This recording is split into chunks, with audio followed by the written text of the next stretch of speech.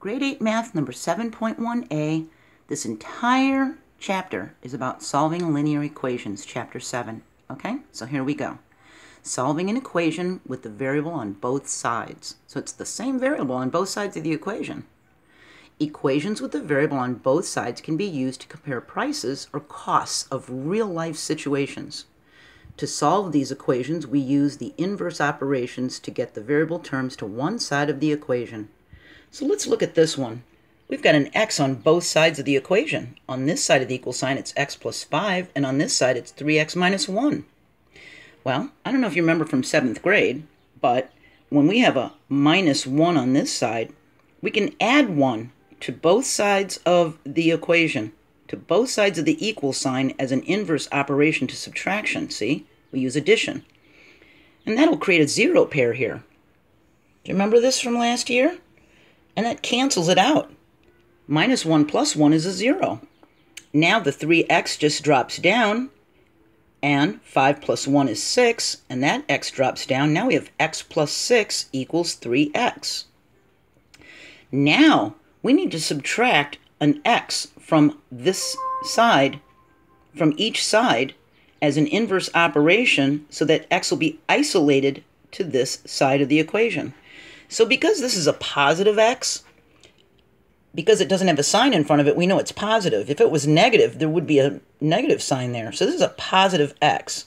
So what we're going to do is subtract x from this side and subtract an x from this side. And that'll bring them all to this side, okay? So positive x minus x creates another zero pair, and these cancel each other out. And now we have 6 equals and remember, we're going to take an x away from this side. So there's really a 1x there. Do you remember that from last year? 3x take away an x leaves two x's. If I have three x's and I take one away, there's two x's left. So now our equation says 6 equals 2x. See? We subtracted 1x as the inverse of plus x over here, and it isolated the x's to one side. Now, because 2x is multiplication, the inverse operation would be division. So we're going to divide both sides by this 2. 6 divided by 2 is 3. 2 divided by 2 makes 1. So that makes that invisible 1, our famous invisible 1. Do you remember that from last year? And we have the value for x. It's 3. So remember that lone variable. Whenever there's a variable by itself, it's got an invisible 1 in front of it, okay? If you're really confused about that, I really advise you to go back to grade 7 math and look at the video 6.2b, and it explains about that invisible 1, okay? If you continue on and don't understand that, you're going to get into some trouble because we're going to use that invisible 1 many times coming up now, all right?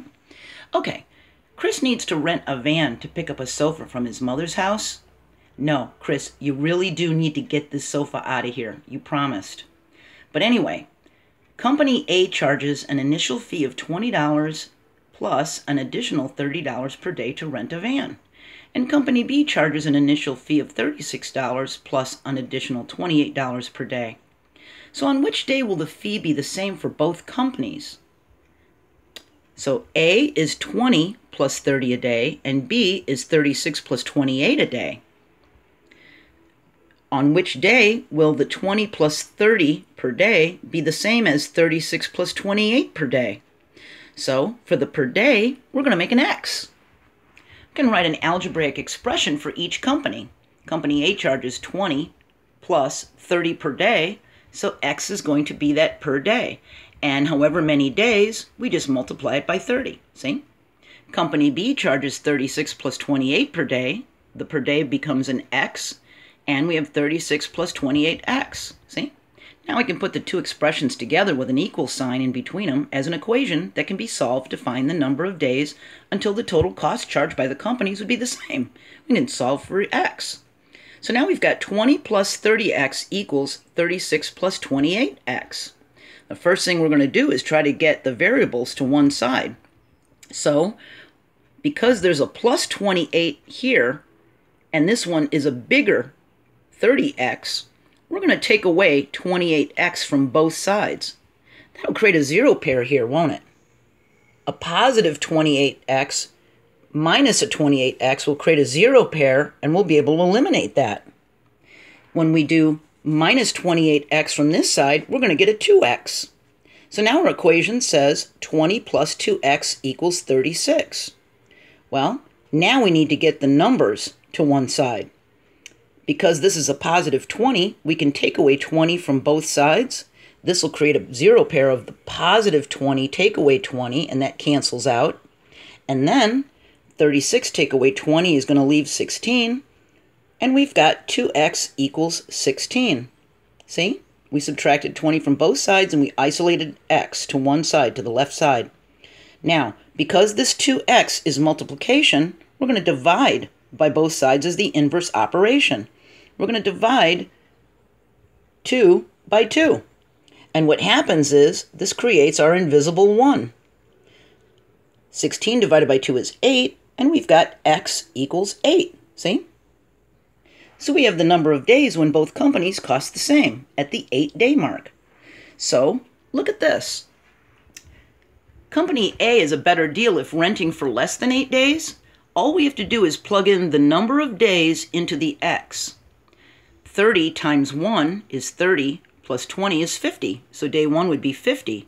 And if we plug the day number into here as x, we can see all the values of how much it would cost per day. Look at day 9 and day 7. Day 7 is $230 for company A. Look at day 7 for company B. It's 232. It's $2 more.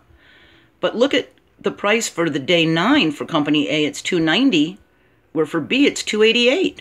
So, if you're going to rent for less than 8 days, company A is a better deal. If you're going to rent for more than 8 days, company B is a better deal. See? So he should use company A and get that sofa from his mother's house. Now, if you're very confused, my advice is to go back and watch three videos in grade 7 math in the playlist 6.2a, 6.2b, and 6.2c. Those three little videos, and they're not that long, are going to clear everything up for you and you'll be able to move forward. Okay? All right. I hope that was helpful. We're going to continue on with this topic and we're going to talk about writing a real world situation from an equation. Sort of like what we did this time, okay? We're going to continue on and build on our knowledge, all right? I'll see you in 7.1b. Bye.